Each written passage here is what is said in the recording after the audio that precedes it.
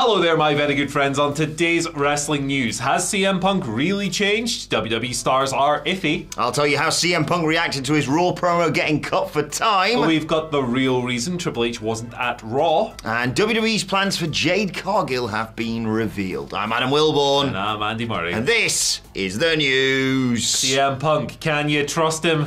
Half of the WWE roster are a little bit iffy, and that's the exact word used uh, in the report, uh, which is nice to see. Bringing it back, iffy 2023. Yeah. Um, this is from PW Insiders. No, it's not. It's from PW Torch's Wade Keller. Ah. Getting my PWs all wrong. Um, and it's a pretty interesting report. It paints a broadly positive picture of the backstage reaction mm. to Punk on Raw. Like the vibes were generally good. Uh, Punk was in a good place, yada yada yada. Uh, but I'll read. I'll just read this thing to you. Um, it's noted that the lines in Punk's promo about it being a family reunion and that bit he said about everyone's happy I'm back and all that stuff. That was broadly true. Um, they noted, like sources have indicated, that Punk seemed humble, that was the word used, and very nice, but not very evil uh, on his Raw return. Not yet, at least. Of course, he broke the internet at Survivor Series, and then he was on Raw cutting that promo. Um, he returned to WWE with a bit of re- reputation, of course, mm-hmm. not just for the nature of his departure in 2014, which I would say is more of a WWE management problem than a yeah. CM Punk problem. Um, but the way he's spoken about the company since being out of it and stuff, and, and he's never been shy and he's never really held back. And also the nature of his AEW departure, he had a fight with a man and he got fired. Uh, that creates a certain reputation about a person. Um, nonetheless, PW and Torture's PW in torture. I've literally combined the two of them. Fantastic. PW in torture. Pro wrestling in torture. Good. Uh, I'm not working today. I need that third coffee. Oh yeah. Shout out to the guys at Good Bruce. But some wrestlers are skeptical of the situation, mm-hmm. it's noted here. Uh, apparently, around half of WWE's roster are iffy on whether or not the way Punk is projecting himself, these changes, are here to stay or even representative of who he actually is. Uh, nonetheless, a positive first impression. Uh, Keller called the situation necessary, uh, given the vibe that Punk was coming mm-hmm. in with and all of that. Uh, but some people, it sounds, still have some convincing to do, and I think that's quite understandable. Yeah, exactly. I think, I think you can see where they're coming from with all this. I think uh, the, the the locker room are taking the same attitude to when me and Andy announced we're going on a diet in January. We'll believe it when we see it. Sure thing, pal. Um, but it, it's a good start. I think that's the main thing we can say. But yeah, understandable to have reservations because it all seemed perfect for Punk in AEW when things first started, and then, well, we all know what happened following that. I think a good sign actually leads into, into my first story today, Andy, is how he reacted to his promo being cut for time. Obviously, um, the show was uh, a bit all over the place, and Punk only came out for the last sort of five, ten minutes. Uh, we'll talk a little bit about uh, people in charge of that in a second. Um, but according to Fightful Select, Punk reacted well to having his time cut for that. Um, he obviously came out and cut a promo, like I said, after uh, Randy Orton had destroyed Dominik Mysterio. Uh, Fightful sources indicate that Punk's reaction appeared to be fine, which is kind of the best thing you can hope for, really. And there was no producer listed for CM Punk's promo, but another source knew that the promos, uh, or they knew the promo's overall direction. It wasn't exactly scripted word for word, but they knew where where he was going with it, what he was going to say about yeah family reunions and that sort of thing, and maybe even the "I'm not here to make friends, I'm here to make money" line that he concluded with off mic. Um, but there was no shots at AEW that were expected, and obviously no none actually happened. Um, the line about everyone's happy that I'm here may have been slightly tongue in cheek, but he was in a good mood. Uh, he was even joking apparently with people at gorilla position before hitting the ring. Tentatively pleased I am, I don't know why I'm talking like Yoda, um, with how things have gone so far with Punk, because I think it's all well and good returning in Chicago, um, but when you have to get down to the nitty gritty of day to day, week to week WWE stuff, that's arguably what part of what got him down in the first place. It'd be so funny if the story coming out of this was this promo was cut and he punched Bruce Pritchard in the face. Like it was just, the, cycle repeats. Uh, not that I necessarily think that's going to happen in WWE, um, but look, we're we're talking funniest possible outcomes here. Yeah, that, that's one. Uh, Bruce Pritchard can probably take a smack. I don't know. uh, I don't know. He's maybe. been in the business long enough. He knows what to expect. Not that I'm advocating for violence. No, no. It's just sometimes it's funny. Um, not violence, punching brother love. I don't know what we're doing here. Um, this is uh, good to hear, I guess. Uh, promo being cut, not ideal, No. of course. Um, but y- y- there's a way of handling those things, and the right way of handling those, those things is okay. It's a bit annoying, but well, I can't do anything about it. Yeah, the, the punk promo is sort of divided opinion. Um, I'm still of the camp of let's see where he goes with this next week. Uh, the, the let it play out thing is a is a, a tired excuse within wrestling, but I do think that it wasn't a coincidence that uh, Rollins was out there earlier calling him a hypocrite, and then Punk came out and did a big rah rah. Oh, it's good to be home. and was a hypocrite. Yeah. yeah. So it's like it does kind of. matter. I'm still right in the middle. I'm right in the middle with it. I thought the promo was really quite bad, I think it's fair to be disappointed by it. but I also think it's heading somewhere. Yes. So you've got people over here who are like, "That was terrible. It can never be good." You got people over here who are like, "Let them cook." All of that. I'm, I'm here. I'm here. I think Hamflett kind of nailed this on the on the Raw review he podcast. never nails anything. He's got no good opinion. he he said because I, I was arguing yeah look this is going somewhere and they've clearly just started the story now for uh, whether it be Royal Rumble WrestleMania Yeah. clearly a feud between Seth Rollins and CM Punk um, but I, I- think Hamflett was right when he said I think maybe you could have done that maybe next week and just had the big Punk's back. Oh Jesus, it's Punk on a live microphone promo, and then kind of got into the story, which I think is is arguably fair enough. But I can see both sides with this. And I am in, I am on no side. And how do you I feel about Punk? Do you feel iffy about Punk? Let us know in the comment section below Mm. Do you using the feel- hashtag iffy. Do you feel Effie about Punk? Ah! Effy's had some thoughts on Punk. certainly E- has. Effy, I love, I love his clips that come out. They're just so much fun. Do you see his recent stuff on Ronda Rousey? Yep. My goodness, shouts to Effy. He's a legend, man. Yeah. he's great. Um, what other things rhyme with Iffy and effy? Th- that, that's literally it. Cool. Stiffy? Leffy, the beer? I don't know. Let us know in the comment section Ooh. below. This is a disaster of a video, isn't it? It's fine. I mean, this is just a Because, catastrophe. because Triple H was meant to be running today's news, but he wasn't here. Yeah. Speaking so of which, Bruce Pritchard is uh, the street. Why wasn't Sorry, Bruce. Yeah. um, why isn't why wasn't Triple H on Raw? Why wasn't week? he? Uh, he was doing business. Uh, he was Triple doing H, a business. he was having a poop. Uh, no, Triple H was not at Raw this week. This was reported by PW Insider shortly after the show, and the same outlet has now reported on why he wasn't there. It's because Triple H, who is WWE's chief content officer, and Nick Khan, who is WWE's president, were in Los Angeles working on uh, negotiations for the media rights deal for Raw TV deal. Ah. Basically, they're working on the TV deal now. You can understand why that might take precedent over a rank and file episode of television. It also kind of explains why Raw was a bit crap this week. I agree. Because Bruce Pritchard was writing it. Felt like I'm on a real run, and it's like something's off here, and Yeah. now I know why. Yeah, there you go. It explains that a little bit. Papa H wasn't there, Still cooking. and uh, you, you know, that's what always what happens. Always what happens when you take the pot off the stove. Um, so TV's going to be a bit weird, uh, a bit different next year. SmackDown leaving Fox. Going back to cable, it's going on to USA Network. USA Network uh, currently has Raw and NXT, NXT, but NXT's going over. What on earth was the, The name? of CW? the CW, the cruiserweight, uh, and Raw is still very much up for grabs. AEW stuff is still up for grabs as well. Uh, it's going to look a lot different in 2024, I think. Uh, As long as the days don't change, no, absolutely fine. this is it. Companies are going to get paid. You can guarantee on that. Uh, but yeah, they're doing Raw business in it. Yeah, it's one of those things, isn't it? It was a huge Raw, obviously, lots of new eyes going to the product, and it felt like they kind of whiffed it a little bit, in my opinion. Um, but now it's understandable why. Like, it wasn't like. Triple H thought this punk, this Raw wasn't important, despite the fact it was CM Punk's first one back, and he, he decided to have a little holiday, go on and go and see the sights or whatever. No, TV deals will take precedent over a single episode of Monday Night Raw because in the grand scheme of things, that's what they're working towards. Um, but I'm intrigued now, doubly, to see what next week's Raw looks like. Whether they can, you know, get back onto that run of form that they were on. It wasn't an awful episode of Raw. It just didn't feel in the same vein of what we've got used to seeing Yeah. uh, this year, arguably It on Monday Night Raw. Ever since. Vince pissed off, basically. Yeah.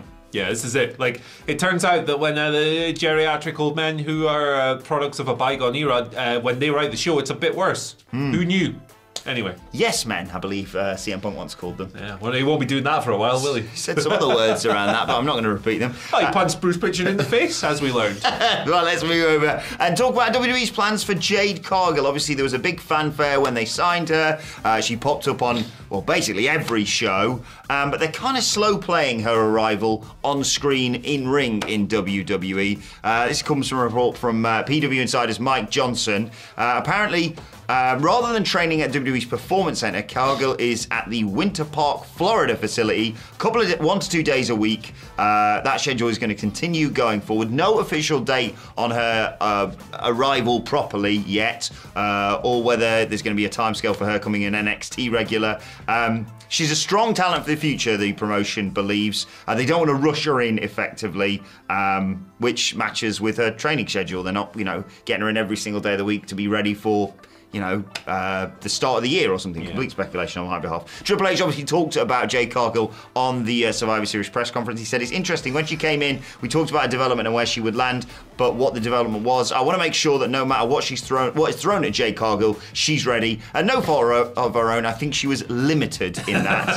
uh, so the idea is we exposed her, we made her be seen. People are understanding and they're waiting. They're excited for her to come, and when she does, it is going to be massive people took this as a bit of a sly dig at AEW. It's not even sly, it's just a dig. Mm. yeah. Uh, and that's why it's, it's funny. Yeah. Like, stuff like that's funny to me. Uh, I'm a bit surprised to learn that she's only at the PC one or two days a week. Yeah. I, I thought they, they, they they would maybe want to, to get her in like full time and have her uh, get ready. Uh, or, or what they believe. a lot of speculation on a Rumble debut, for example. Yeah, yeah, for sure. Maybe that'll be a bit too soon now. But hey, look, it's not for uh, two out of shape dorks on the internet to dictate what somebody's uh, training schedule Plus, should it's, be. it's basically nearly Christmas, isn't it? So. yeah. yeah, let's have Christmas. And all wrestlers just have Christmas off. They just put, their, put their feet up, Yeah. don't they, for a couple of weeks? Yeah, Like exactly. of- exactly. That's the. It's not like they work Christmas Day or anything. Yeah. Jeez, you remember when they did that? Dark days, man. Dark. I mean, I'd love to go to watch a wrestling show on Christmas Day evening, but I wouldn't want to have to work it. Yeah, nah. I'm like eight beers deep by that point. I'm not going to no wrestling show. I, I'm not leaving the couch. No. I'm not leaving the couch after 4 p.m. No. Like, if you think you're getting me off of that, you're peeling me off of the fabric. Ah. Nah, nah. Training, performing, cheesy peeps. But it, it, it is clever the way that I think that they've done this in terms of when Joe, Jay Cargill shows up, a lot of fans aren't just going to be like, "Who the hell's that?" Yeah. They're going to be like, "Oh yeah, that was the one they made the big fanfare about with."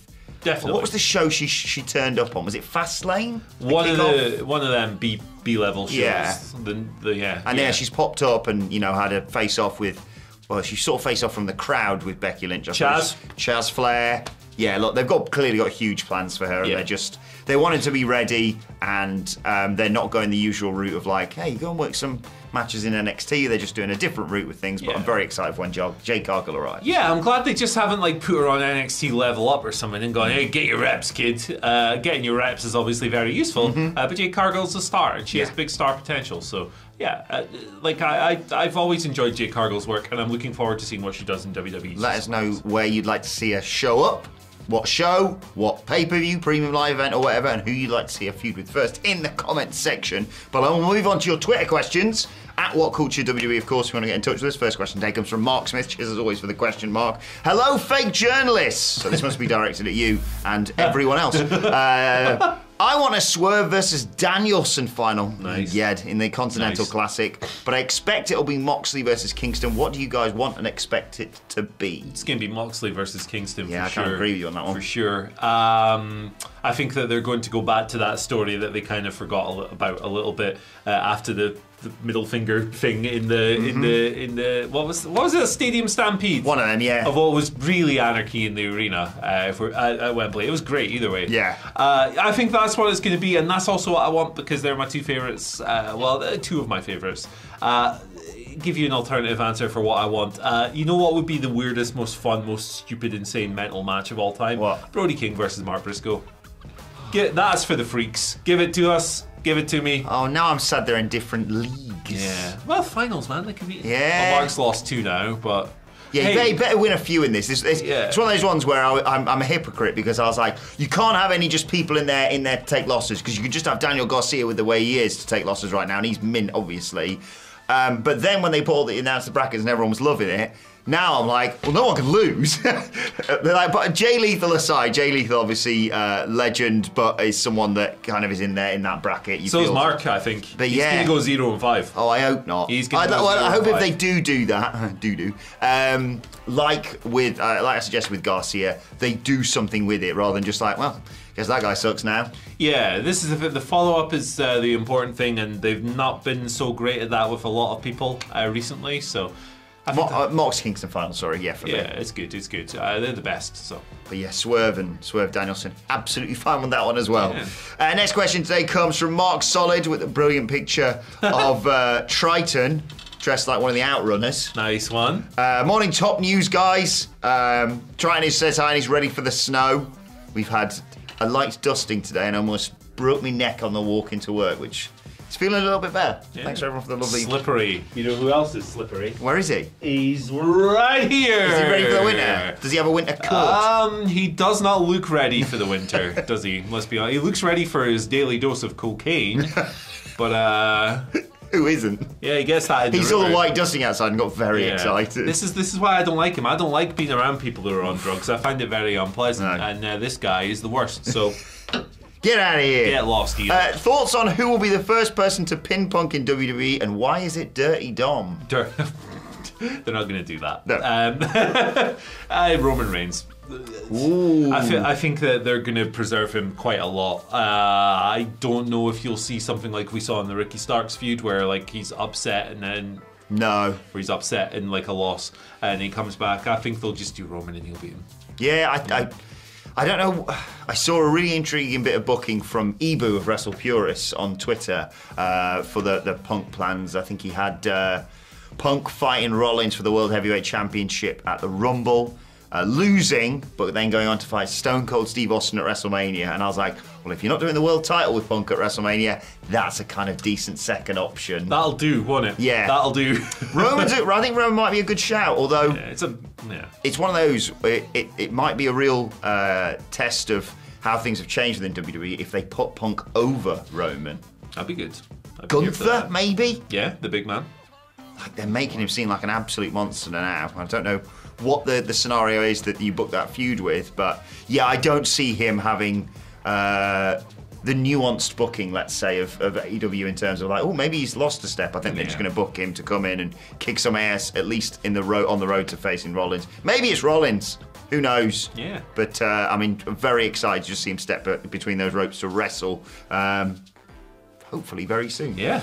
Uh, Jacob S gives us our next question, our final question of the day. Cheers, Jacob. Uh, for the Royal Rumble, would you want Cody to enter number one, number 30, somewhere in the middle, and why? One. Yeah, he should one. Makes He- sense this year, he- doesn't it? He Or should next have year. to fight his way to the end. Uh, it's classic. Full flip reverse with him and Gunther? Yeah, I'm here for that. I'm here for that. Uh, like, obviously, Gunther did uh, as a heel. He went from start to finish last year. Oh, he didn't win, but you know what I mean. He was in the ring the whole match, um, which I think is fine for him because he's a workhorse. Like that's his gimmick. He's the ring, der ring general. Um, and it, I think it was fine. But I think Cody, if he's going to finish the story, I think the most compelling way to do that now, with where we're at, with where stories have gone up to this point, is to go bell to bell. And to win the whole thing? Yeah. Yeah, of those ones. The arrival of Punk has muddied the waters somewhat. I think if you'd asked me a couple of weeks ago, I would have said Cody needs to enter at one, Gunther at thirty. There was an, there's a bit of me that thinks maybe Gunther wins this time and he challenges Seth Rollins, but then in my booking, he's already lost the uh, Intercontinental Championship by this point, and it doesn't look like they're going to do that anytime soon. So. Punk's an intriguing one to win the Rumble. Uh, it would be a real uh vote of confidence in him. And you could, there's an argument you can say, well, you just have Cody win the Chamber, for example, to face Roman. But I think the good old-fashioned route of, well, you're not on that show, so how have you got to fight for that title? And I know he's obviously got history with Roman, and they've, they've never lost that. I just think it's cleaner, yeah, to have Cody win it for a second year in a row, and it just makes him feel like even more of a megastar. Jesus, two years in a row we're in the Rumble, and this next year winning it from number one. I like the way they laid out both Rumbles this year. You know, Rhea obviously doing running the gauntlet, uh, running the card or whatever the phrase is. Um, and yeah, Cody coming in at 30. And I think the thing is, people build up 30, and there was a few years that it was a bit iffy.